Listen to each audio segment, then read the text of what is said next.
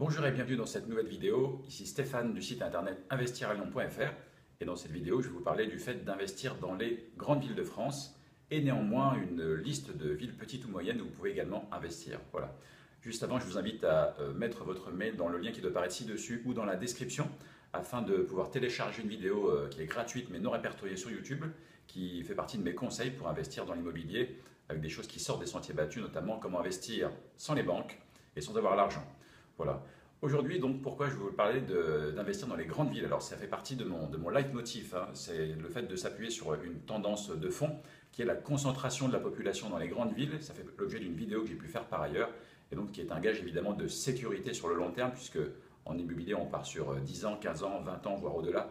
Et le fait d'investir dans des grandes villes euh, dont toutes les projections à 20 ans montrent qu'elles vont se, continuer à se développer, les grandes villes vont continuer à grandir, eh bien c'est un gage de sécurité pour vous pour réussir votre investissement. Néanmoins, ça peut se faire cet achat dans les grandes villes au détriment de la rentabilité, puisque vous aurez un prix d'achat un petit peu élevé.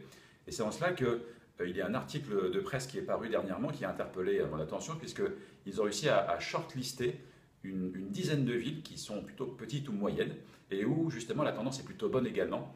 Alors je vais vous les, je vous les citer, puisque euh, au-delà des 10 villes, il y a aussi les critères qu'ils ont pris en compte, c'est assez intéressant. Ce sont les perspectives de croissance démographique, les perspectives d'emploi et le produit intérieur brut de la ville, le PIB.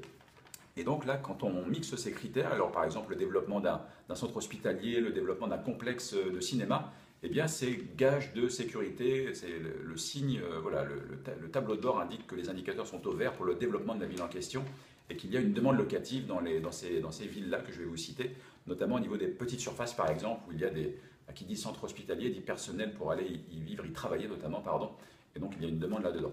Donc dans, ces dix villes qui ont été citées, alors il y en a quatre notamment en Rhône-Alpes, hein, qui sont Pontcharrat, Rumilly, Salanches et Voiron. Donc ça fera peut-être l'objet d'une prochaine vidéo où j'irai euh, peut-être faire une étude, étude de terrain pour voir un petit peu. Et puis les six autres villes qui ont été euh, listées, ce sont Bayonne, Brignoles, Guérande, La Roche-sur-Yon, Muret et Ploermel dans le Morbihan. Voilà. Au passage, si vous qui m'écoutez, vous habitez euh, proche de ces villes ou dans une de ces villes et vous avez peut-être investi, eh bien écoutez, votre témoignage serait tout à fait intéressant. En tout cas, voilà, cette liste de 10 villes où investir est assez hors du commun. Elle sort également des sentiers battus puisqu'elle vous invite à inviter euh, avec des critères euh, précis, chiffrés d'activité économique et de signes de développement économique. Donc voilà, c'était l'objet de cette vidéo et encore une fois, elle va à l'encontre de ce que je peux euh, moi préconiser. Néanmoins, au-delà d'investir dans une grande ville, il y a le fait d'investir proche de chez soi. effectivement, si vous habitez dans une de ces 10 villes, eh bien, je vous inviterai évidemment à vous pencher sérieusement sur, le marché immobilier de cette, ville où vous auriez la chance d'habiter. Voilà. Merci d'avoir regardé cette vidéo. Cliquez sur j'aime juste en dessous si c'est le cas. N'hésitez pas surtout à vous abonner à la chaîne YouTube puisqu'il y aura d'autres comme ça, d'autres conseils euh, sur l'investissement immobilier, d'autres choses que j'aurais pu identifier dans la presse qui auraient pu euh, euh, être intéressantes.